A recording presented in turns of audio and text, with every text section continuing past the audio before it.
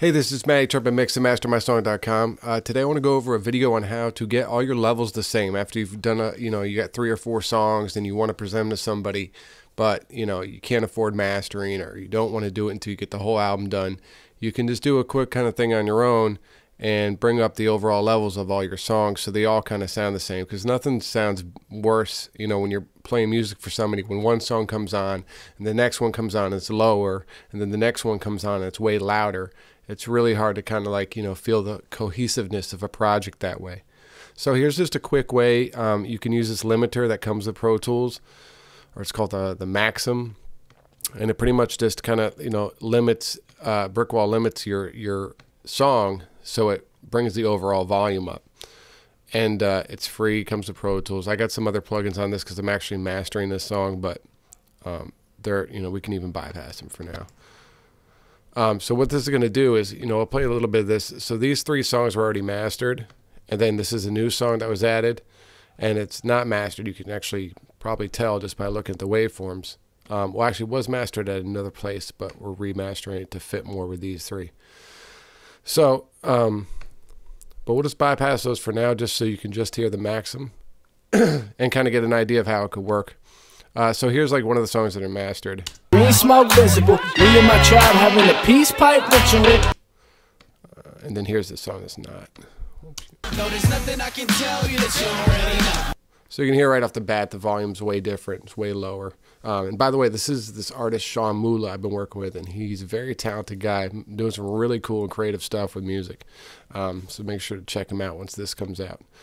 But anyway, so let's unbypass this and just play a few five seconds of this because it's not released yet. And all you're gonna do is pull up your threshold. I'm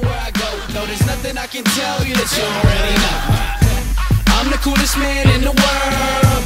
I'm the coolest kid with the words. I know you're listening. And look where I go. No, there's nothing. And you'll see your attenuation over here. It's going to start poking. I don't ever bring this down more than negative six because then it really starts sounding crunched and pumpy and weird. And I'll bring it down really low so you can hear it. I'm going to bring the ceiling down. This is your output level just so you can hear the difference. No, there's nothing I can tell you that you already know. I'm the coolest man in the world. I'm the coolest. So you hear how crunchy that sounded and just awful. So you don't want to you don't want to have this thing hitting too hard. It's not like you know when you're compressing something and you want to get a good punch out of it. It's a different beast, and you just you don't want it to get too hard. So. I'm the coolest man in the world. I'm the coolest kid with the words. I know you're listening.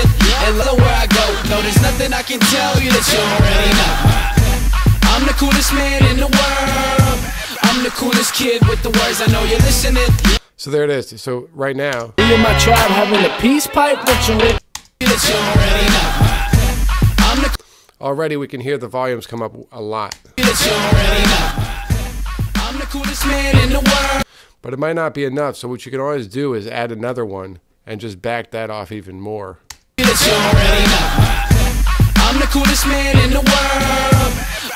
It's not much, but we got an extra dB of gain, so.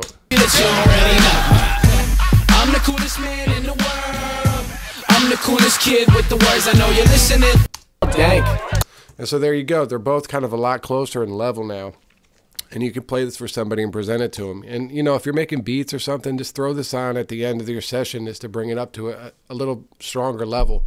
Um, one thing to note though is if you are going to use this thing, make sure your original levels aren't super loud because it's not going to do much for you. It's going to start um, attenuating right away.